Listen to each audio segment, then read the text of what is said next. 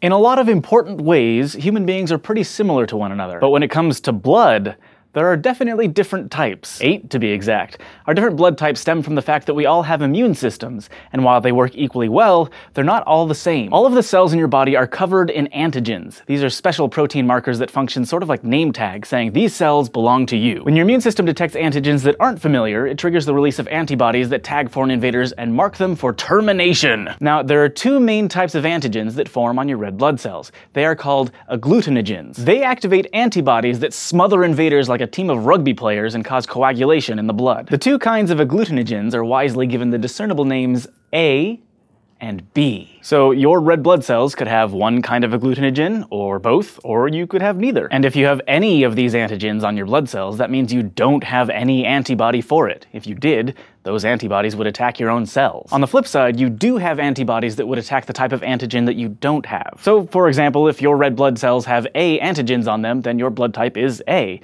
and your antibodies would attack type B. If you have B antigens on your blood cells, then you're type B, and you have antibodies for type A. If you have both, you're type AB, and you don't have antibodies for either. And some people have neither kind of antigen. Their genes actually code for an agglutinogen that just doesn't work, and they have antibodies for both A and B. These guys are called type O. Now, just to keep things interesting, there's another set of antigens on your blood cells that works in different ways from the agglutinogens. This is known as the rhesus or Rh system, and it's actually a collection of 45 different antigens, but they're all produced as a single group, so you either have all of them or you have none of them. If your red blood cells have the Rh antigens on them, we say that you're Rh positive, and if you don't, you're Rh negative. So this is how we end up with eight different blood types, A, B, AB, and O, each with a positive and negative type. Now, when it comes to transfusing blood from one person to another, compatibility is kind of important to preventing a serious, possibly life-threatening reaction. But finding the right match has less to do with which letter you have than which letter you have the antibodies for, which sounds confusing,